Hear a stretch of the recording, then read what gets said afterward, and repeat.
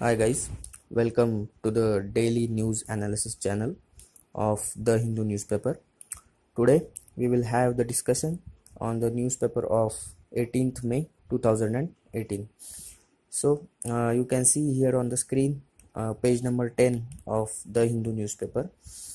Uh, earlier pages there is not a single news on the earlier pages which is important for UPSC. So we are directly starting from page number 10 I will read the uh, headline of the news. We are battling terrorists. Uh, this is the statement given by Pakistan Army. You can see the news on the screen also. I will read the introduction.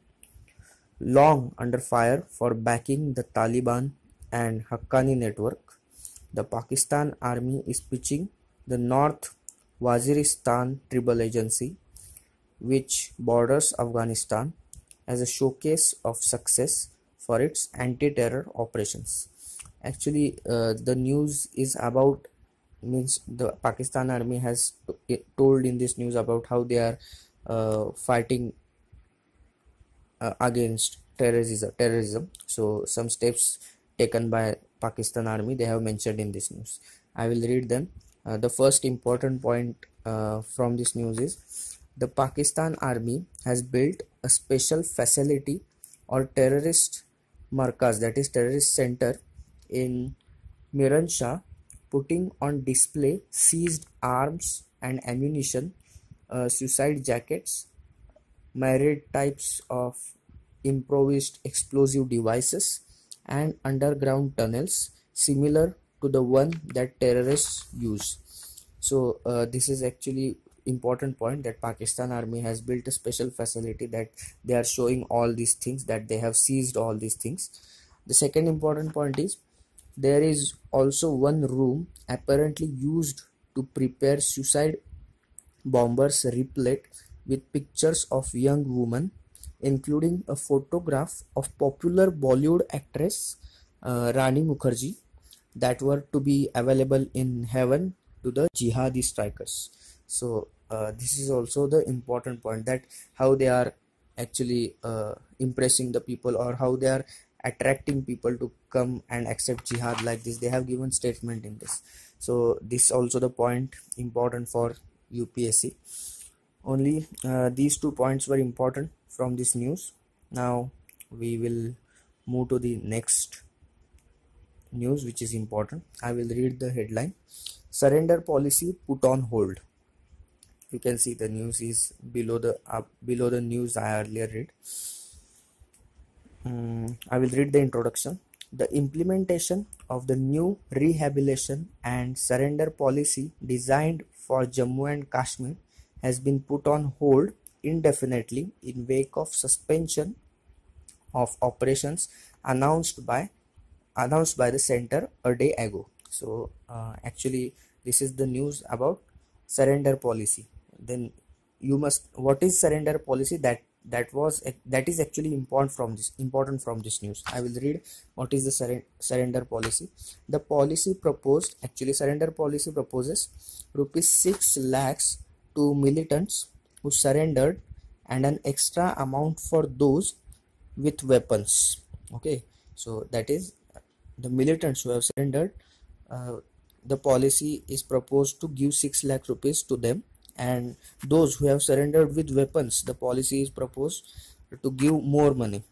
It is also proposed arranging loans for surrendered militants for self-employment. Actually uh, generally people joins a jihadi group or terrorism due to their bad economic situations and so so government is trying to improve their economic uh, conditions. That's what actually the policy is all about on this page. Uh, only these two news were important. Now we will move to the next page that is page number 11 here uh, on the page number 11 one news is actually important at the bottom of the page. Um, i will read the headline. Governors should be true to oath of office.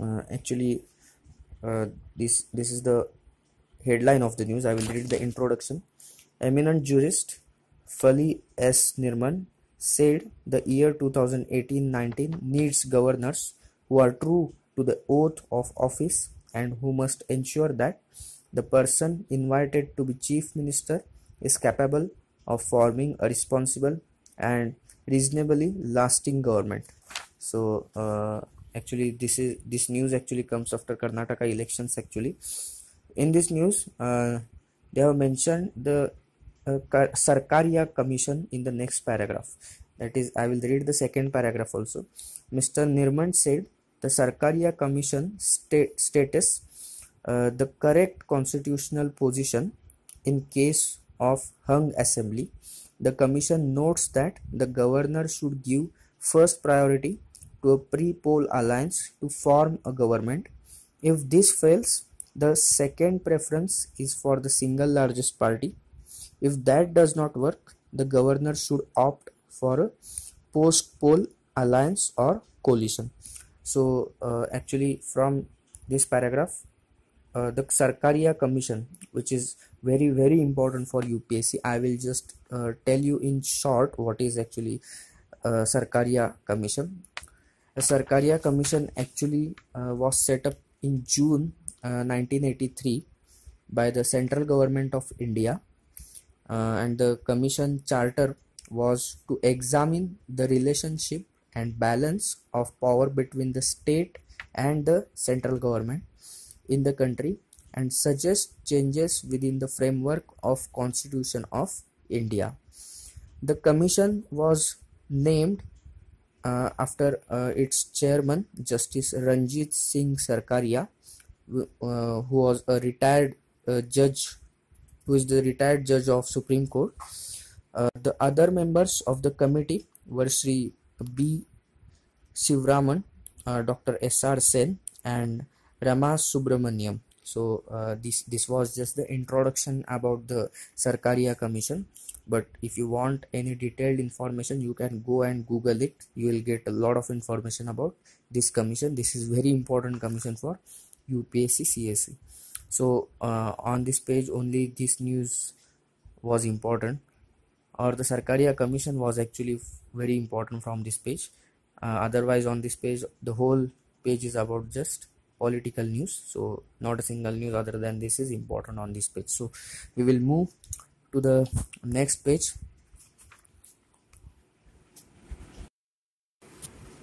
On this uh, page number 13 uh, i will read the headline of the news banks under pca uh, will get over legacy issues soon says uh, goyal uh, i will read the introduction finance minister piyush goyal uh, on thursday expressed confidence that the 11 banks placed in the prompt corrective action that is PCA plan would overcome their legacy issue and emerge stronger shortly. So actually uh, this was just the introduction that they have shortlisted in PCA plan. Uh, the the actually question here arises what is PCA Act. I will uh, give shortly. I will shortly introduce the PCA plan, but firstly I will read the information in the news actually the 11 public sector banks are currently uh, under the reserve banks bank of india's prompt corrective action that is pca framework um, the name of those banks are uh, dena bank allahabad bank united bank of india uh, corporation bank idbi bank uco bank bank of india central bank of india indian overseas bank oriental bank of commerce and bank of maharashtra. So uh, these were the names of the bank uh, these were the names of the banks uh, under the pca so now i will uh, shortly introduce you uh, what is actually prompt uh, corrective action plan. Hmm. actually rbi introduces pca when the bank's financial conditions uh, were is weak or worsen below certain limit. That is certain limit means they have fixed some trigger points. If the bank's financial condition is worsened that than that trigger point then rbi introduces pca uh, then the limit set are actually the limit for trigger point set are in the form of three conventional financial indicators which are called trigger points. Yeah so uh, the limits are set up in the form of trigger points and uh, those trigger points are uh, capital to risk weighted asset ratio that is CRAR second uh, net non-performing asset that is NPA return on asset that is ROA and leverage ratio. Okay so these are the trigger points. Uh, trigger points implies the RBI imposes corrective action in accordance with the level of trigger points. Okay so actually uh, PCA helps RBI to uh, develop the economic conditions of these weak banks in short. Now uh, actually uh, this this point is actually the PCA framework is applicable to commercial banks and not extended to cooperative banks and cooperative or non-banking financial companies and FMIs. So this is also the important point. I will read I will tell you again. The PCA framework is applicable to commercial banks and not extended to cooperative banks or non-banking financial companies and FMIs so uh, this was about uh, this news which was actually important.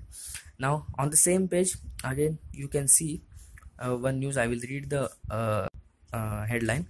Government creates uh, director general for trade remedies. Again this is the information which is important. The ministry of commerce i will read the whole news the ministry of commerce on thursday issued a notification for a unified directorate general of trade remedies that is DGTR that would sub that would subsume the Directorate General of Anti-Dumping and Allied Duties, Directorate General of Safe, Safeguards, and some functions of the Directorate uh, General of Foreign Trade. DGTR will be the apex national authority for all trade remedies measures including anti-dumping countervailing duties and safeguard measures. According to a release, uh, the body will also provide trade defense support to domestic industry and to exports in trade remedy investigations instituted by other countries. So uh, actually this was important because uh, Director General for Trade Remedies, this is the new uh, institution or post uh, created by government. So for today's newspaper uh, these news were actually important which I have already cleared. Now uh, you can if you want any uh, extra additional information about uh, which I have which I have described other than news you can go and google them. So for today that's it. If you are liking the show please like and subscribe. Thank you